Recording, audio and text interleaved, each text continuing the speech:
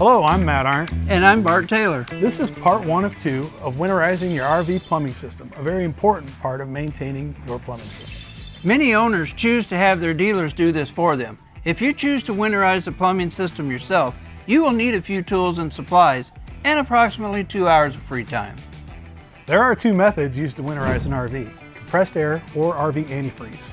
Today we are using the compressed air method which uses an air compressor to blow the water out of the plumbing system. Let's look at what's needed. You'll need a special adapter for connecting the air compressor to your water lines and one to two gallons of RV non-toxic antifreeze. do not use automotive antifreeze. I repeat, do not use automotive antifreeze. It is poisonous and not for use in potable water systems. Both the adapter and RV antifreeze are available from your local RV dealer. Let's get started. If your RV is equipped with a black tank flush, use the adapter and compressed air to blow out any water that is in the system. Be sure not to exceed 30 psi air pressure.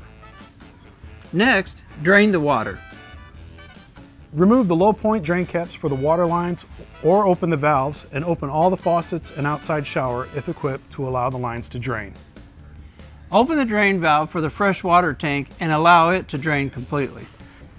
Verify the water heater is turned off on both gas and electric. Remove the water heater drain plug and open the pressure relief valve to let air in the tank and allow it to drain. If your unit is equipped with a tankless water heater, please refer to the operator's manual for the winterization procedure. If you have a water filter, remove and discard the water filter cartridge. Drain the water from the base and reinstall. If equipped, use the bypass tube for cartridge filters.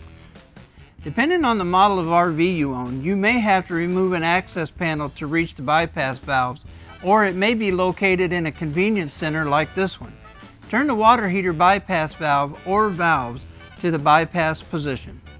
If you don't have a convenience center, the easiest way to locate the bypass valves is to locate the water heater on the outside of the RV. The bypass valves will be located on the back side of the water heater, on the inside of the unit, or in the basement storage compartment. If your RV has a residential refrigerator, the ice maker water line should not be winterized with antifreeze. Simply drain the line along with the rest of the water lines. Then close the ice maker shutoff valve located under the island. After the water has drained from the fresh water tank, turn the water pump on for about 30 seconds to clear out any water in the suction line and pump. Using the adapter, connect an air hose to the city water fill connection. Set the air pressure to no more than 30 psi and blow out the water lines until no water can be seen coming out of the fixtures and the lines. Hold open the toilet valve until the water is cleared from the toilet supply line. Open the diverter valve on the shower faucets to clear the shower hose and head, and don't forget the outside shower or kitchen if equipped. If equipped with a washer hookup, follow these steps. If there is a washer hooked up, turn the washing machine onto the fill cycle using a warm water setting to open both hot and cold valves.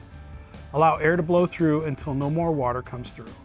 If there is no washer hooked up, open the hot and cold valves allowing the water to clear the lines. Empty the wastewater holding tanks at an approved wastewater dump station. Pour about one quart of RV antifreeze into each drain, P-trap, and the toilet. Leave a little antifreeze in the toilet to maintain the air seal. And don't forget the washer drain if equipped. Once the water is removed from the water lines, water heater, and fresh water tank, it's a good idea to reinstall the drain caps and plugs and close the valves to keep critters out of the fresh water system. That's all there is to it for the compressed air method. Be sure to watch part two where we winterize using the RV antifreeze method.